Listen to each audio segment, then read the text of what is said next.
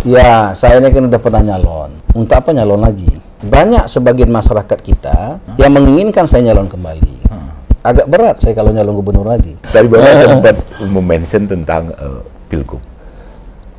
Kalau pileg tadi pasti. Iya. Soal pilgub. Pilgub. Eh, guber Bengkulu, Pak. Ya, saya ini kan udah pernah nyalon. Oke. Udah pernah nyalon. Kalau secara pribadi, untuk apa nyalon lagi? Oke. Yang sudah sudahlah kan gitu loh. Heeh. Cuman memang nggak bisa dipungkiri banyak sebagian masyarakat kita yang menginginkan saya nyalon kembali. Kalau di kader-kader partai juga banyak yang kemudian meminta kita untuk nyalon gubernur lagi. Oke. Tapi saya katakan bagi saya hari ini agak berat saya kalau nyalon gubernur lagi. Karena itu sudah pernah dan masyarakat sudah menentukan pilihan. Heeh. Senang tidak senang, baik tidak baik, itu pilihan sudah dibuat. Tetapi kembali lagi kita ini kan manusia biasa tuh, nggak bisa memastikan satu persoalan. Apa yang terjadi besok kita nggak tahu, begitu. Tapi kalau secara pribadi Untuk eh, saat ini. untuk saat ini sudah cukup, gitu.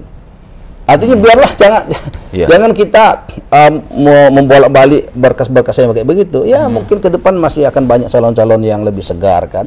Misalnya Pak Soleh ya kan anggota DPR kita sudah mendeklar dia mau maju. Ada Pak Agustin juga deklar dia maju Dia kan maju, begitu. ah. Sehingga saya pikir uh, diperlukan mungkin ada Pak Oroidin juga informasinya dia mau maju lagi Maju ya kan. Silakan sajalah begitu. Jadi untuk kontestasi Hmm. pilgub, Pilgub ini ke depan? ke depan Saya belum mau. saat ini belum mau. Belum. Karena saya sudah sudah pernah dan sudah kalah gitu. Iya kan? Gitu. Waduh, Hidupnya kan harus berjalan terus, Baik, jangan mundur ke belakang gitu. Baik. Tapi Hmm. Kondisi berbeda kalau saya ngelihatnya saat ini ya Pak. Iya. Saat ini Bapak punya privilege yang Hmm.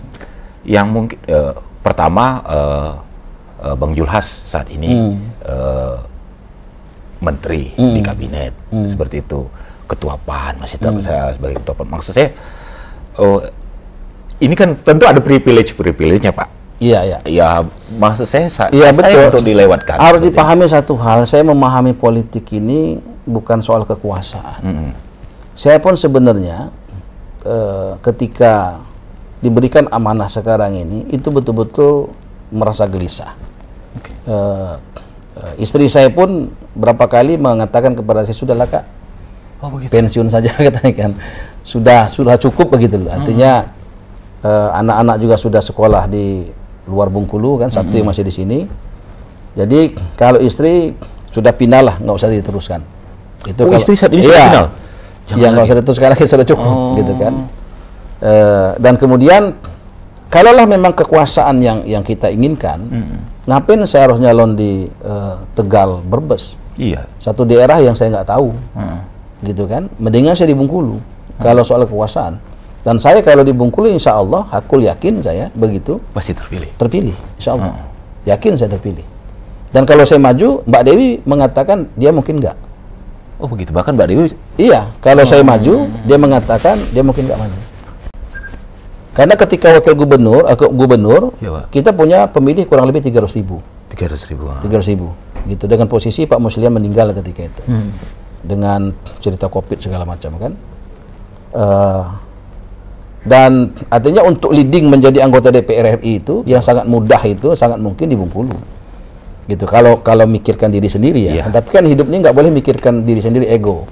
Ya kan Mbak Dewi itu pernah jadi ketua tim saya dia pernah berkeringat dia berjuang gitu kan. Kok tiba-tiba kursinya saya ambil saya gantikan. Saya pikir agak kurang pas begitu loh. Gitu loh.